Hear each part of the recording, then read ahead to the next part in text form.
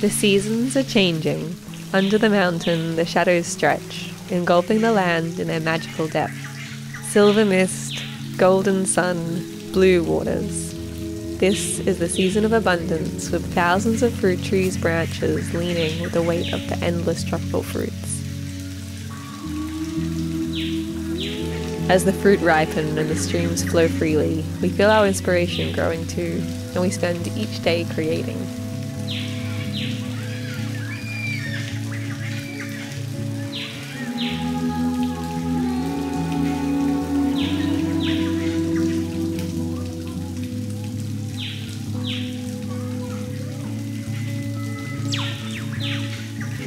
After summer's energetic rains and growth, we feel the pace slow in autumn.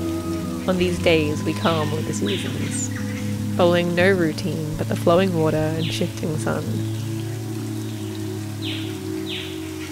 We celebrate the clarity that the softening weather brings.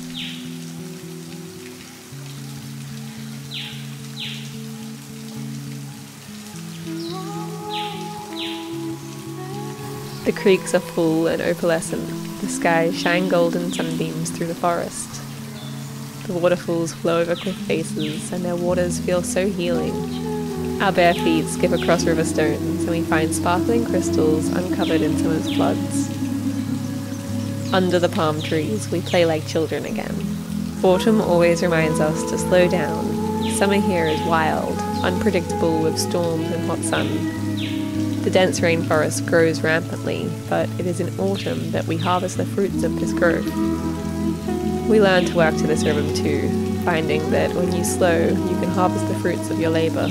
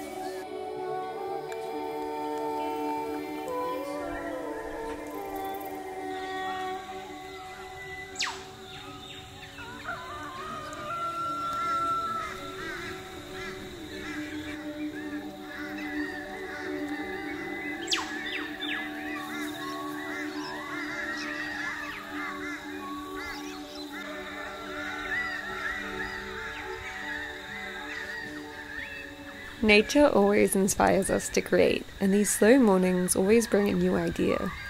We spend a relaxing morning just sitting still, watching the mist rise, collecting fruit, or pausing to take it all in. You suddenly notice all these small things, like the clouds held within the mountains, or the grasses touching your skin. Everything becomes an inspiration. It is moments like this that give us energy, creative, mental, and physical energy.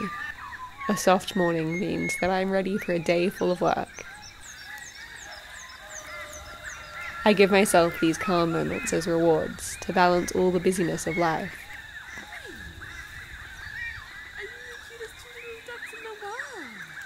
My pace wavers. Slowing down lets me expand and find inspiration in the smallest things. And then this pace shifts and inspires an energetic afternoon creating. I try to catch up with all of my thoughts and ideas, sketching, cutting, sewing, and draping, all at full speed. So I made this skirt yesterday, and I'm pretty excited about it. It's just a little kind of fairy skirt for frolicking, maybe like a throw over over swimmers, really nice on a hot day. And I want to make a matching top that goes with that kind of fairy theme. And so I think I'm going to use, I have a sleeve pattern for fairy wings um, which are all these seams combined. So I think I'm going to do that out of the same cheesecloth and make a top. This is the cheesecloth and honestly it is so weird for me to work with fabric on a roll because I'm always using recycled fabric so normally I'm working with really tiny cuts and always patchworking together all these little cuts of fabric but this is more fabric than honestly I know what to do with. I got it secondhand off a woman that I think she had a clothing line and she was hand making things from it and so it is, it is still secondhand and recycled, but it's a lot of fabric, so I'm kind of excited I can experiment more, but interestingly, I'm still working with patchwork. I'm kind of testing patterns to make out of different scrap fabric out of this fabric because I really like the way that it flows and it's quite similar to all the secondhand materials that I work with. So this is the pattern which I'm going to make it off. So you might remember last year that I made a dragonfly dress which was made out of silk and all of these tiny pieces of silk make up one sleeve, which, for context, like normally one pattern of a simple dress is like, say, two, three, or four pattern pieces, you know, depending if you've got sleeves or whatever, like at most maybe six pattern pieces. This sleeve, I, I don't even know, I haven't even counted how many pattern pieces, but there's a lot. so it's not the easiest pattern to follow and I am planning to do it from cheesecloth, which is notoriously hard to sew, but I always love a good challenge. I just spent an hour searching, maybe not an hour, maybe I'm being dramatic, but a very long time searching because I had a feeling that that pattern wasn't the right pattern. And I was right because I drafted this pattern myself. That was the first copy, and then I changed it to add a lot more flair. So I'm so glad I didn't go ahead and make it on the wrong pattern, but I found it. It's a different pattern altogether. And this was the mess that I made while looking for the pattern, so now I have to clean that up. And it turns out that the pattern wasn't even in here, it was actually in the back of my cupboard. Who knows, my organization skills are not good.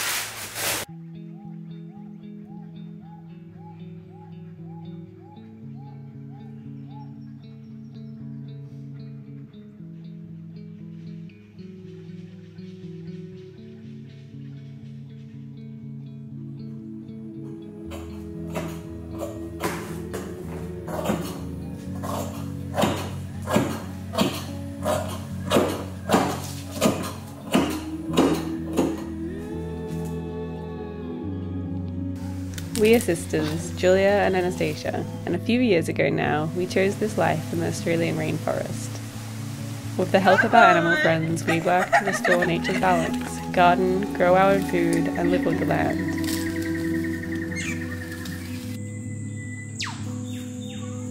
And if there's one thing that this life has taught us, it is to find joy and creativity in every moment. From cooking to caring for the land, creating with our hands, sewing, painting, and gardening, We've learnt to do it all with love. We wrote a book that tells our story of returning to a life lived in harmony with nature, and in it, we share all the secrets of how to live a creative life. You can buy it by following the link in our description or from bookstores around the world.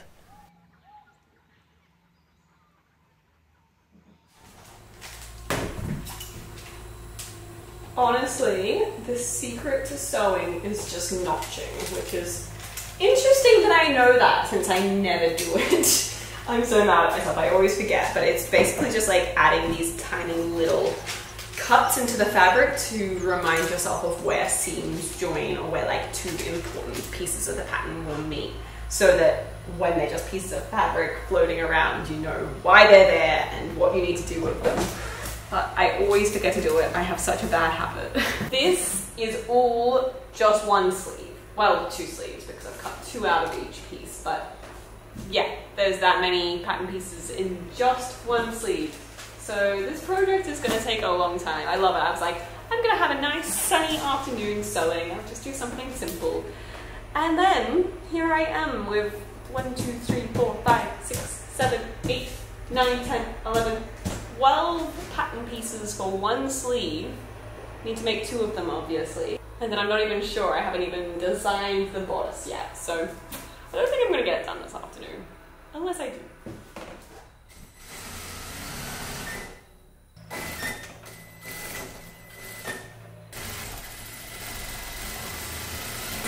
So I finished the first sleeve and I love it and it's perfect. And I'm just trying to decide if I want to add a cuff to it or not because I initially actually made this pattern so that it would go onto a cuff that like is cute and tight on my wrist. And then I decided in the final of the dress that I made with this pattern that I didn't want that and I wanted it to just be a flowy sleeve. I'm kind of wondering if it would be a cute sleeve with a cuff that it like kind of pulls it all into place.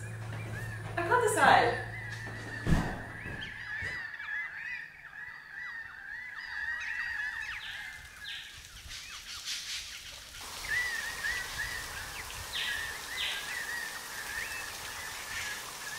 Creativity is steeped in everything that we do, and one of Julia's favourite practices to incorporate creativity into every day is to make quick, tiny drawings.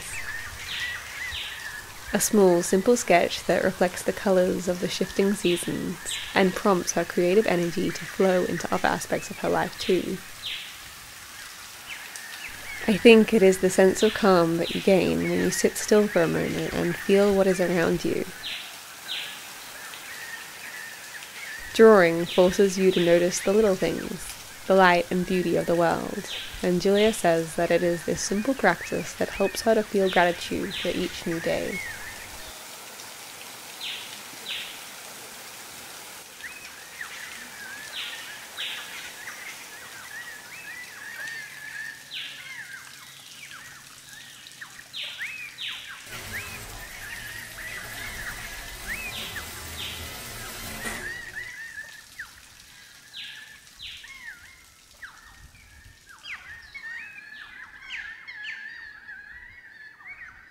I've got both sleeves done. I'm so excited. I feel like a fairy.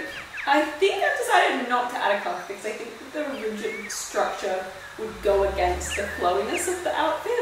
So I think I'm just going to add a tie that kind of ties up and is really fairy-like and just, I don't know, beautiful and flowy.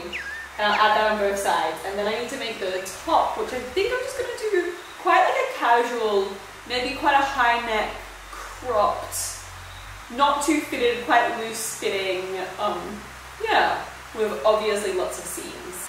These are called French seams and I really like them because they, they're actually opposite French seams. I don't know, I've made them up. But they're inside out French seams, so they make this kind of like pucker, which I think looks very fairyish, very dragonfly-ish. So I can't decide on the bodice of the top I want to do the same thing or the skirt that I made matching, I actually used flat felled seams, which is another really fun but really hard technique, um, which I think really suits this light crepe fabric. So I might do that to tie it all in, because that makes all this layering so that it goes quite hard and rigid, and then it's juxtaposed against the fluidity of the crepe. So I have finished the sleeves and the skirt, so all I need to make is the bodice of the top. So I got a basic pattern block and I just traced it to sort of start mocking up my own top. So this is a paper mock-up, which is a lot less wasteful than using fabric. So instead of making something and I don't like it and it's ugly and then throwing it out, this skips a lot of steps because you can make out of paper first and check if you like it. So I'm, I'm planning a really basic bodice. I don't want it to, because there's so much going on in the whole design, so I want it to be really simple. And so I'm thinking just like a little cropped top with two seams going down the bust line. And so you have to have seams that go down the bust lines so that you can have darts. Um, and that's how basically garments fit to the body because humans aren't two-dimensional, so you need to make it work three-dimensionally. So you, you see it's a flat pattern and then you close that dart and then suddenly you have shape that goes around the breast. So that's the plan. I'm just deciding how basic I want to make it and what height I want it to be cropped at. Also, I have just noticed that the paper that I'm working with has a spider nest in it. I don't know if they're going to hatch. There's going to be thousands of babies if they do hatch. In order to close this dart, I'm going to create just a really simple seam that just goes up the body and I'm going to make it in the same style as these seams. I think I'm also going to add the same seam here so it has all these kind of like segments coming down and a bit continued from the fairy sleeve.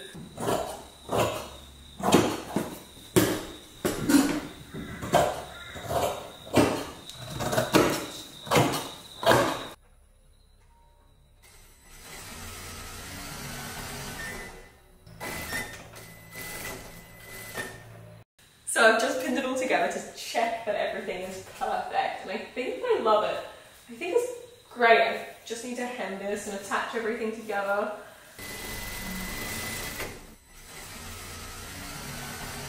I'm so excited. I think it's perfect. I don't think I made a single mistake, honestly, which I'm feeling pretty proud of. Normally there's at least one thing. I'm really happy with how it turned out. I just want to go frolicking by a waterfall now because it's the perfect fairy outfit. I feel like a real life fairy.